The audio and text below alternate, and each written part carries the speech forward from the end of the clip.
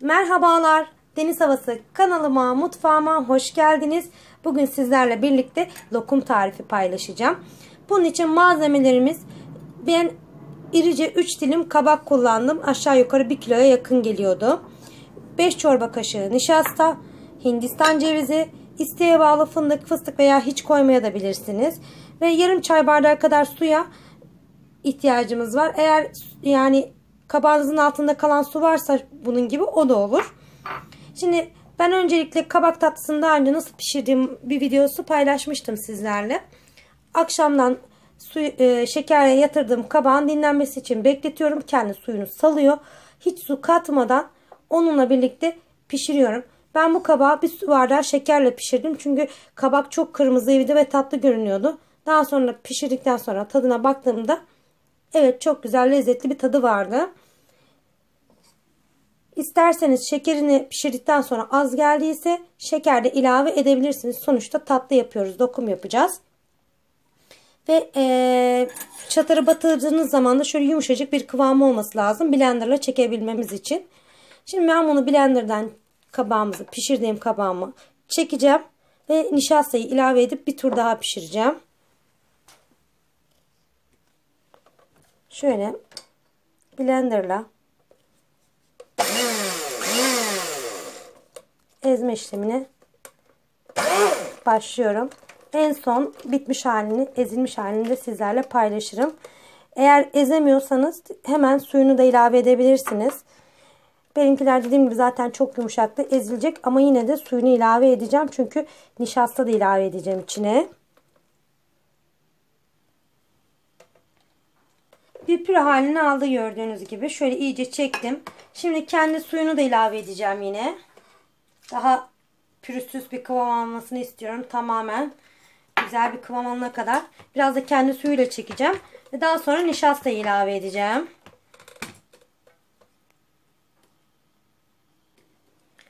Şimdi nişastayı hazırlayalım. Nişastayı da şöyle bir kaseye alıyorum. Kolay karıştırmak için onu da bir çay bardağı şöyle suyla hemen açacağım. Soğuk su, sıcak su koymayın koyulaşır. Püremi de çektim. Bir bebek maması kıvamında. Çok güzel oldu. Şimdi bunu özleyeceğim. Bunu da püremin içine ilave edeceğim. Ve ocakta bir 5 dakika daha pişireceğim bununla. Aslında hepsi bu kadar. Eğer oldu ki çekemezseniz bu şekilde şu kıvamı aldıramazsanız pürenin içine de bir çay bardağı daha soğuk su ilave edip daha kolay çekmenizi sağlayabilirsiniz. Nişastayı böyle özeyince daha kolay oluyor. Tamamen pürüzsüz bir şekilde aldı. Şöyle malzememizin içine ilave ediyorum. Hemen.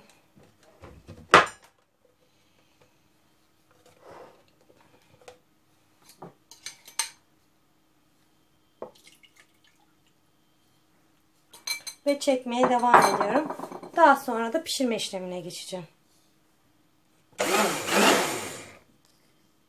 Kabağımı çektim. Bakın gördüğünüz gibi çok güzel pürüzsüz bir kıvam aldı. Şimdi bunu 5 dakika ocağın üzerinde çevireceğim. Daha sonra ılıması için ocağa, ocaktan alacağım. İçine şekerli vanilin ve fındığını da ilave edip borcama dizeceğim. Dondurucuya atabilirsiniz. Dondurucuda en az 3 saat durması gerekiyor. Dolapta bir gece durması gerekiyor. Bir gece durduktan sonra keseceğim ve hindistan ceviziyle servis edeceğim. İsterseniz direkt o şekilde de e, hindistan cevizini bulamadan da servis edebilirsiniz. Ama güzel oluyor. Şimdi ateşin üzerine bir 5 dakika çevireyim. Daha sonra ılıdıktan sonra şekerli vanilini ve fındığını da ilave ettiğim kısmını sizlerle paylaşırım.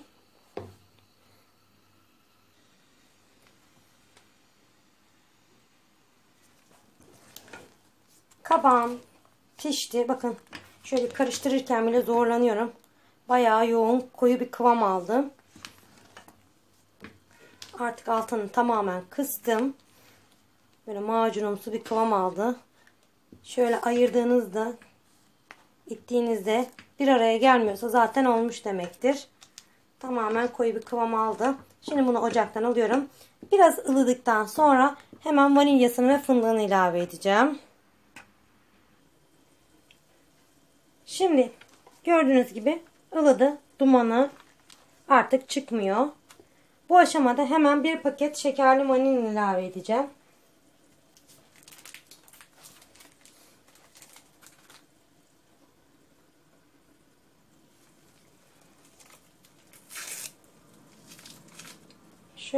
Eleyerek ilave ediyorum.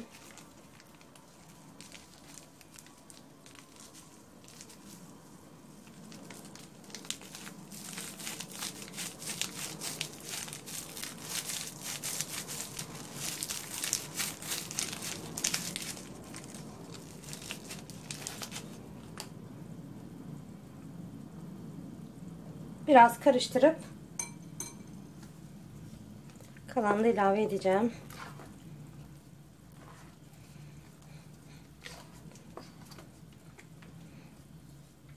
Kısmını da yine aynı şekilde eliyorum. Amacım her yerin eşit miktarda gelmesini sağlamak.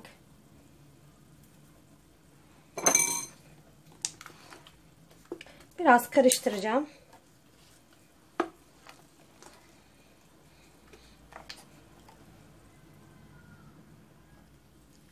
Tamamen karıştırdım.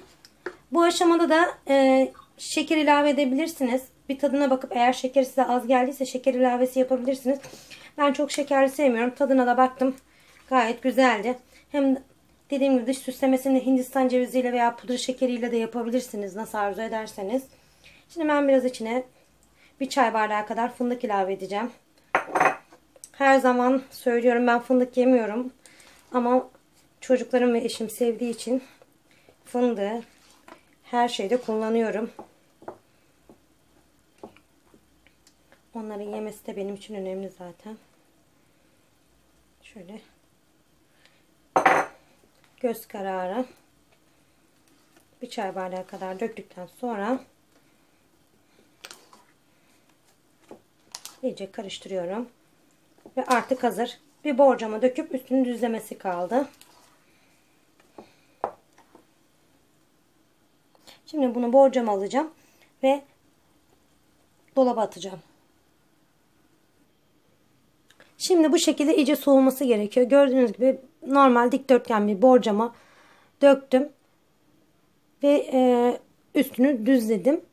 Şimdi eğer dediğim gibi eğer derin dondurucuya, derin dondurucuya atacaksanız 3 saat normal buzlukta bekletecekseniz en az bir gece dolapta beklemesi gerekiyor. Güzel ve rahat kesilebilmesi için. Daha sonra ben dışını Hindistan ceviziyle kaplayıp servis yapacağım. Ama siz istiyorsanız normal pudra şekeriyle veya fındıkla, cevizle ne ile istiyorsanız o şekilde de servis yapabilirsiniz. Tamamen sizin isteğinize kalmış. Şimdi biraz dinlenmesi gerekiyor, soğuması gerekiyor. En son artık servis aşamasını sizlerle paylaşırım. Şöyle beklettiğimiz lokumumuzu artık dilimleme vakti. Şu şekilde lokum gibi küçük küçük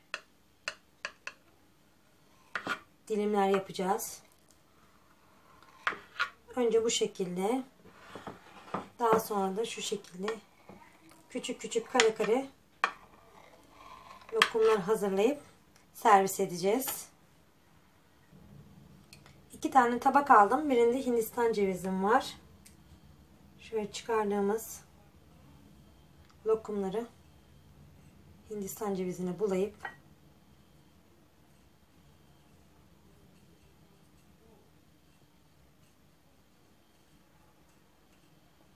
servis tabağına alıyorum.